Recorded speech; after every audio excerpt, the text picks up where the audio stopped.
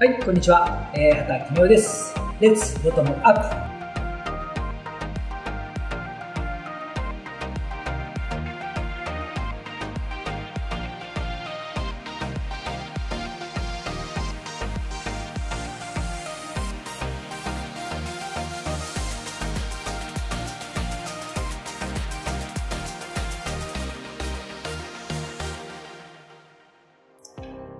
今日ですね、日大のラグビー部の不祥事の件についていろいろとですね、ボトムアップ思考的にお話ができたらなというふうに思ってます。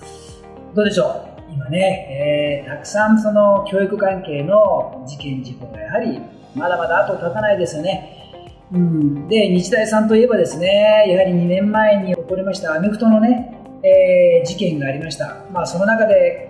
学生ファーストっていう形でね、新たな展開を見つけて進んでいかれたとは思うんですけども、また2年後に、えー、このような、えー、不祥事が起こってしまったということです。まあ、あの学生たちの、ね、声によって、まあ、この事件が明るみに出たっていうことなんですけども、今までも言えなかったんでしょうね。で、部長さんが流れている情報としては、うん、お酒をね、飲ましたりだったりとか、あまたわざと喧嘩をさせながら酒のつまみにしたとか、頭に爪楊枝を刺したとか、小学校、中学校でもしないですね、そういうことは今はね。うん、でもやはり日大といえば教育関係においてもですね非常に有名な大学ではあるんだけどもなかなか自分たちがあ新たなものをいい方向にしていこうというふうに作ったにもかかわらずっていうところはものすごい残念かもしれないですよね。うんまあ、いろんな事件が起こりながらあそれをこう改善して進んでいくっていうのはいいんだけども、まあ、2年前にねあったアメフトの事件はものすごく大きな事件になって、えー、監督部長さんがあお辞めになられるっていうところもね行かれてて、まあ、その事件もありながら学生ファーストっていうそしてどの学生もどの指導者もですねえー、挽回してもっといい大学にしなければいけないっていうふうに思っているところでの今回の事件なので根が深いんだなっていう感じで思いましたね。うん、では今回の事件もやはり、えー、指導者からの学生に対しての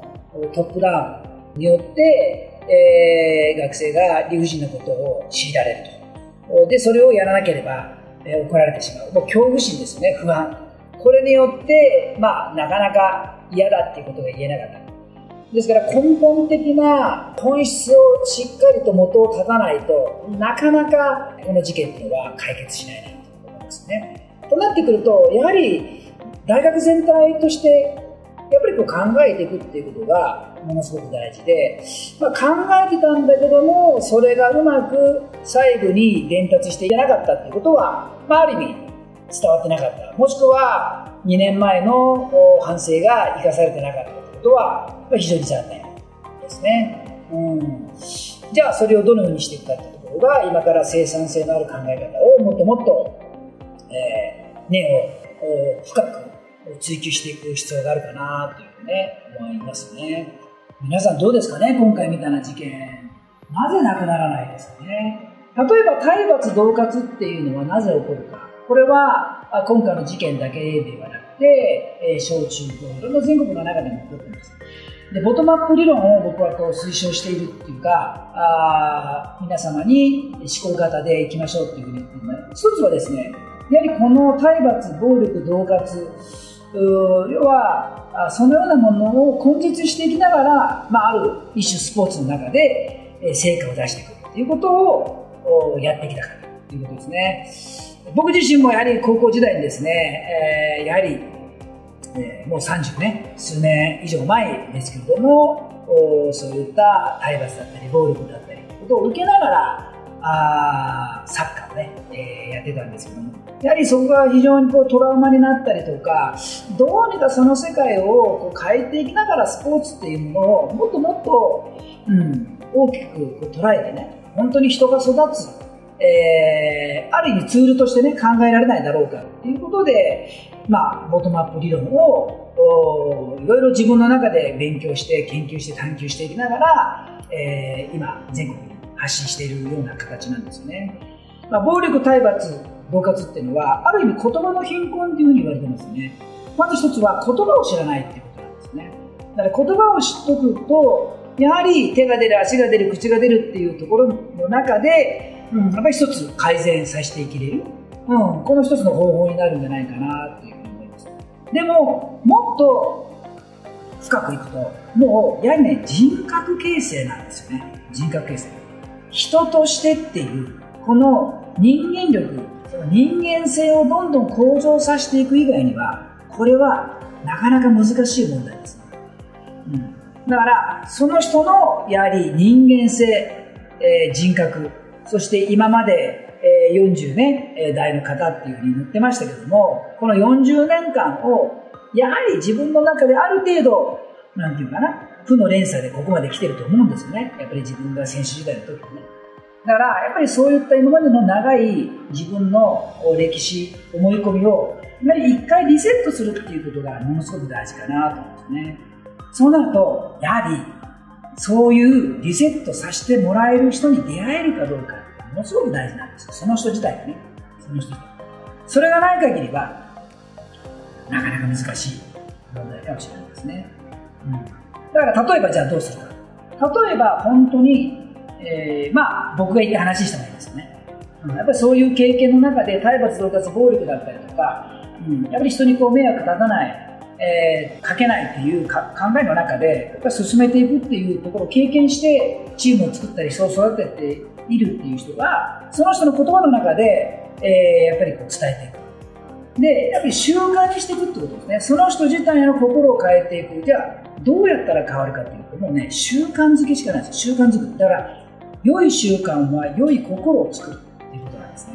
だから、この良い習慣をどのようにつけていきながら、その人自体の心を変えていくかっていうところになると思います。そうなるとですね、やはり潜在意識と潜在意識の話。要は、もうここはね、テクニックではね、どうしようもないです。例えばコミュニケーション、モチベーションというようなテクニックでその物事を直そうとこれはうまくいかないんですよ、ね、うん、要はもっとね、根っこの部分。木で言うと根っこの部分、見えない世界の部分にフォーカスしていって、そこをプラスの心に変えていこうというにしていかないと、この問題は非常にまあ難しいっていう形ですね。だからそこをどんどんどんどん変えていけたらいいなっていうね、えー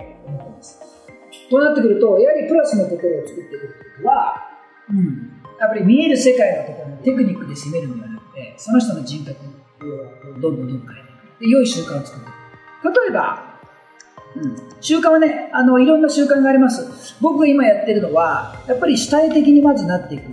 技術創造型解決法っていうね、いろいろな物事の問題をピンチと取るかチャンスと取るかっていうところから始めていきながら、どんな問題においてもチャンスと取れるっていう習慣をつけていくですね。物事って問題に問題があるわけじゃなくて、問題をどう捉えるか、どう見るかっていうことが実は問題なんですよね。ですからその見方、捉え方を変えていくような習慣をその人自体が、えー、していく。要は良い心を作るためにね。うん。要は、えー、ピンチと捉えると他者責任。チャンスを捉えると自己責任。だから、要はどのような問題においてもチャンスと捉えて、えー、自己責任、そして自己依存していきながら自己改善をしていくっていう、このルーティンをどんどんどんどん作って、心の状態をいい状態にしていくってことですね。もしかすると、その人自体が、うん、今までの40年間の中でトラウマになるようなことがあったかもしれないですよね。うん、だから、やっぱりそれを変えていこうとするんであれば、見えない世界、で、この見えない世界っていうのは潜在意識なんですね。潜在意識。で、この潜在意識っていうのが人間は90%を以上使ってるっていうふうにじゃあ、その見えない世界の心の部分を変えていくには、大きく言うと、2つの変え方があるんですね。これは、一発、ものすごく大きな出来事に出会うというものか、もしくは、あ薄紙を一枚一枚積み重ねていくような小さな習慣で、え成功体験を作っていくっていう。この二つ、どちらかでいかないとなかなかあ自分の俺はできるんだってね、えー、粘り強くやれば絶対に夢は叶うんだっていう潜在意識って変わらないっていうふうに言われているんですね。うん、となっていくとお、本当にある人との出会いの中で自分の人生を振り返ってその人が変わるか。もしくは、あコツコツコツコツ、まあ、ある意味セミナーだったりとか、講演に出るでもいいですね。自己研鑽していきながら、あ自分を見つめ直していくか。これはその人本人だけではなく、一つのラグビー部、もしくは日大全体でやっていかないと、これはなかなか難しい問題になりますよね。うん、やっぱり、えー、学校時代の本質を変えていく。ここものすごく大事ですよね。うんあのー、まあ、皆さんもご存知のように、えー、2012年にね、えー、大阪の桜宮高校のね、えー、バスケットのキャプテンが、えー、監督からのトップダウンで自殺をした事件がありましたよね。そこから大きく、えー、日本っていうのは遅いんだけども動き出したということなんですね。えー、要はこういうパワハラ的なことを許しちゃいけない。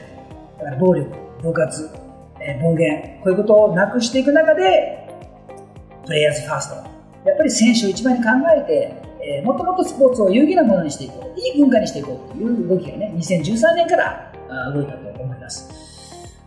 実は僕もボトムアップ理論をやってて、もう本当に子供たち主体でやってました。だから、その事件がその起きた時も、もう僕は40年ぐらい前からこのボトムアップ理論を追求してやってるんですね。うん、要は、時短にしていきながら、あ少ない時間の中でも成果を出すとか要はサッカーっていうね種目をやってたので選手がメンバーを決めたり戦略を決めたりして現場を本気で主導にさせていきながら進めていく。そして何か問題が起きた時は僕が改善するんではなくてやっぱり現場でいろいろ改善していく要はいかに現場に主体的なエネルギーを持たせていきながら常に何かあれば自分に矢印を向けて人に矢印を向けないようにして力強く前進していく。そういう一人一人ができていってそれが合わさって組織になっていくというやっぱり個が組織を作っていくというところに着手して本当に日本一のチームをね、えー、こう作り上げていけたというので、えー、のがあります。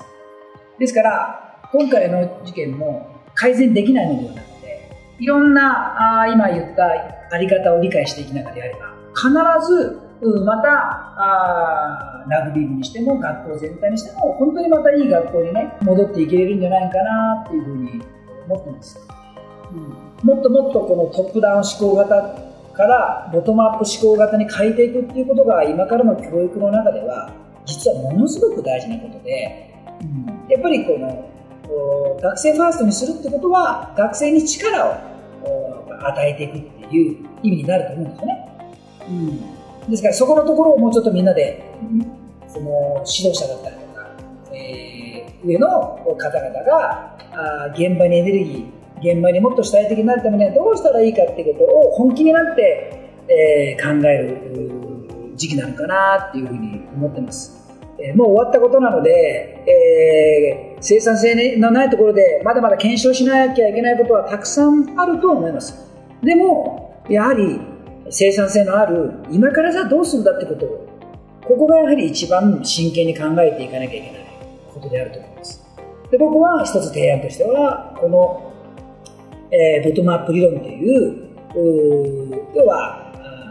本気の現場主導型そして組織が、えー、自動型自走型になるっていうのをやっぱり作っていかない限りこのような事件っていうのはやはりトップダウン上位形でいろんな事件が起こってくるなと思います。ぜひこの機会にボトムアップ理論で解除を立つ下からの意見をどんどんどんどん上げていきながら、まあ、一緒になりながら、